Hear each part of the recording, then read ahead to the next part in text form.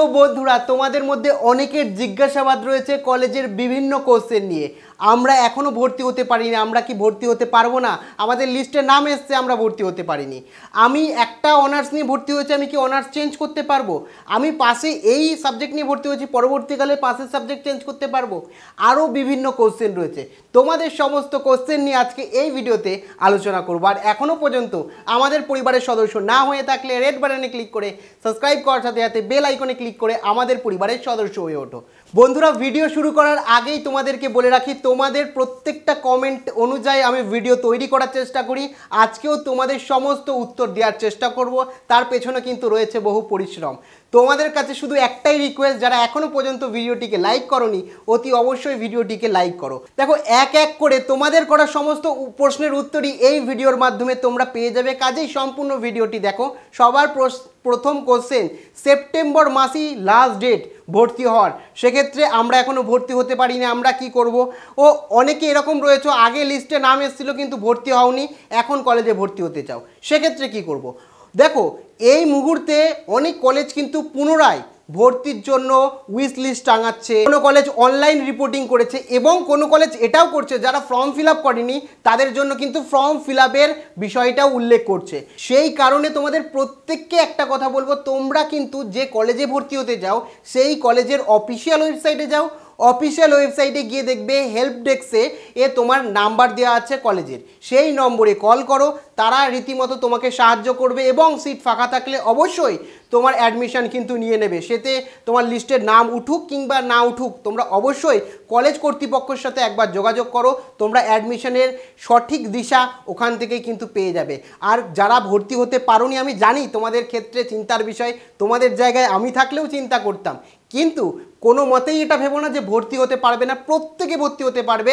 পশ্চিমবঙ্গে এত seat available রয়েছে, প্রত্যেকে ভর্তি ভর্তি হতে পারবে এবং আগের বছর বলেছিলাম, প্রথম দিকে সমস্যা হলেও পরবর্তীকালে কোনো সমস্যা হবে না। এক্ষেত্রে অনেকেরই মৃদু ডাউট রয়েছে, আমি ভর্তি হতে পারব কি পারব না।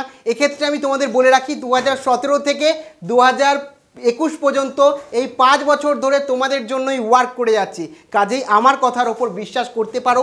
আগের বছরও যারা বেরিয়েছে, তাদের ক্ষেত্রেও একই কথা বলেছি, তোমাদের ক্ষেত্রেও একই কথা বল এরপরে তোমাদের অনেকের কোশ্চেন রয়েছে যে আমি অনার্স নিয়ে ভর্তি হয়েছি। ম্যাথামেটিক্স অনার্স নিয়ে ভর্তি হয়েছি, কিন্তু আমি ফিজিক্স অনার্সে কনভার্ট করতে চাই। সেক্ষেত্রে আমি কি করব? দেখো, এই মুহূর্তে যদি তুমি ডিসিশান নিয়ে ফেলো, সেক্ষেত্রে অবশ্যই কলেজের সাথে যোগাযোগ করতে পারো, অথবা তোমাদের রেজিস্ট্রেশনের আগে কিন্তু এই সুযোগটা থাকে, যদি অনার্সের ক্ষেত্রে সিট ফাঁকা থাকে।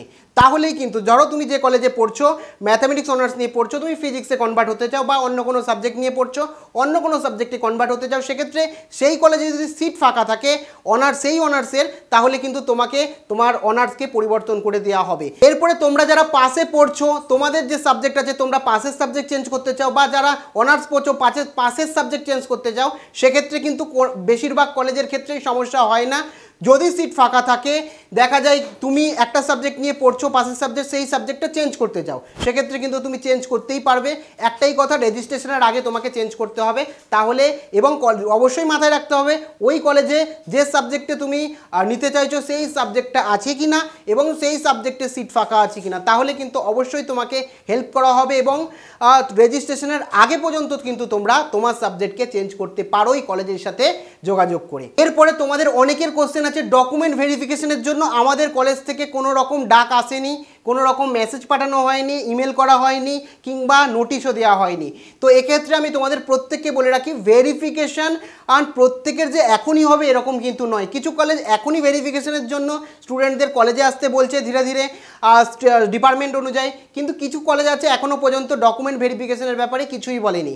সেক্ষেত্রে তোমাদের কোনো চিন্তার বিষয় নেই। কলেজ কর্তৃপক্ষর দায়িত্ব তোমাদেরকে অ্যালার্ট করা।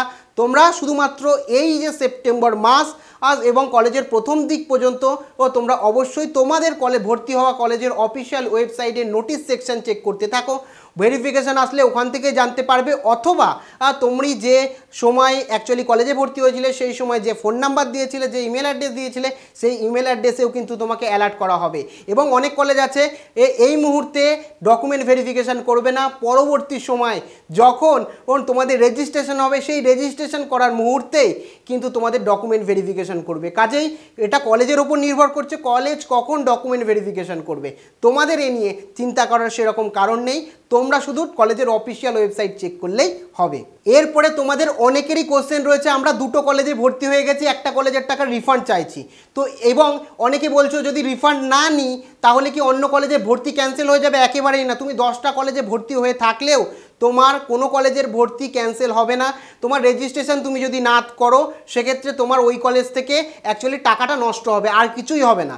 এবার টাকা যদি রিফান্ড করতে চাও, সেই রিফান্ডের ব্যাপারে আমি পুরো পদ্ধতি বলেছি এবং সে কারণেও প্রত্যেকটা কলেজ যে একই সময় রিফান্ড দেবে, সেটা না। সব সেই জন্যও কিন্তু তোমাদের কলেজের ওয়েবসাইটে চেক করতে হবে এবং আরও টাকা কীভাবে ফেরত পাবে অ্যাকাউন্টে বিস্তারিত জানতে এই ভিডিওর প্রথম কমেন্টে লিঙ্ক দিয়ে রাখব। সেই লিঙ্ক থেকে তোমরা দেখে নিতে পারো টাকা কীভাবে তোমরা তোমার ব্যাংক অ্যাকাউন্টে ফেরত পাবে। এরপরে তোমাদের অনেকের জিজ্ঞাসাবাদ রয়েছে কলেজ কি আমাদের শুরু হবে না কলেজ শুরু হবে না? তো এক্ষেত্রে বলে রাখি ইউজিসির গাইডলাইন এবং আমাদের বিকাশ ভবন সূত্রে যে ইনফরমেশন আছে, সেই ইনফরমেশনের অ্যাকর্ডিং যেটা হতে চলেছে, তোমাদের ক্লাস কলেজের ফার্স্ট ইয়ারের ক্লাস কিন্তু অক্টোবরের এক তারিখ থেকেই শুরু হতে চলেছে। কোনো কলেজে এক তারিখ, কোনো কলেজ দু তারিখ। নিয়ম অনুযায়ী এক তারিখেই ক্লাস শুরু হওয়ার কথা। এখানে বলে রাখি তোমাদের, কলেজের ক্লাস তো শুরু হবে। অনলাইনে শুরু হবে না অফলাইনে শুরু হবে এই মুহূর্তে কেউ বলে দিতে পারে না। কিন্তু ইউজিসি যে গাইডলাইন প্রকাশিত করেছিল, সেই গাইডলাইনে পরিষ্কারভাবে উল্লেখ করা আছে ব্লেন্ডিং মোডের কথা। কোনো কলেজ যদি চাই অনলাইনে ক্লাস করাতে পারে, কোনো কলেজ যদি চাই যে অফলাইনে ক্লাস করবে, তাও কিন্তু করাতে পারে। এটা ইউজিসি রুলস অনুযায়ী। আর কলেজের ইচ্ছে অনুযায়ী কলেজ ক্লাস করাতে পারে। অনলাইন অফলাইন কলেজের উপর ডিপেন্ড করছে। এবং রাজ্য সরকারের অবশ্যই পারমিশন লাগবে। রাজ্য সরকার যতক্ষণ না পর্যন্ত পারমিশন দেবে, ততক্ষণ পর্যন্ত কিন্তু কলেজগুলো অফলাইনে পুরোপুরি ক্লাস করাতে পারবে না। সেহেতু আমাদের রাজ্যের তরফ থেকে কি গাইডলাইন আসে, এটা তো ইউজিসি নির্দেশিকা দিয়েছে ব্লেন্ডিং মোডের কথা উল্লেখ করেছে। কিন্তু আমাদের রাজ্যের তরফ থেকে কি গাইডলাইন আছে তার উপর নির্ভর করছে কলেজ অফলাইনে হবে কিনা। কিন্তু তোমাদের অক্টোবরের এক তারিখে অনলাইনে হোক কিংবা অফলাইনে হোক ক্লাস শুরু হচ্ছে। তোমরা ধরে নিতে পারো অনলাইনেই ক্লাস শুরু হচ্ছে। এবং খুব তাড়াতাড়ি যেরকমভাবে পলিটেকনিক খুলে গেছে আইটিআই খুলে গেছে, সেরকমভাবে রাজ্যের অন্যান্য ডিগ্রি কলেজগুলোও কিন্তু খুলে যাবে। এটা আমরা আশা রাখতে পারি পরিস্থিতি স্বাভাবিক থাকলে। তোমাদের কি মনে হয়? অবশ্যই কমেন্ট সেকশানে জানাবে। আশা করছি তোমাদের যে সমস্ত বেশিরভাগ স্টুডেন্টরা কোশ্চেন করেছে, সেই কোশ্চেনের ওপর উত্তর দিতে পেরেছি। এখনও যদি কোনো রকম জিজ্ঞাসাবাদ থাকে, অবশ্যই তোমরা কমেন্ট করো। আর যদি খুব তাড়াতাড়ি কোশ্চেনের অ্যান্সার পেতে চাও, তাহলে ইনস্টাগ্রামেও সরাসরি আমাকে ইনবক্স করতে পারো। আজকে রাত্রে প্রত্যেকের এর ইনস্টাগ্রামের এর যে কোশ্চেন সেই কোশ্চেনের রিপ্লাই করার চেষ্টা করব। তো আজকের মতো এটুকুই। আবার দেখা হচ্ছে পরবর্তী ভিডিওতে জয় হিন্দ, জয় ভারত।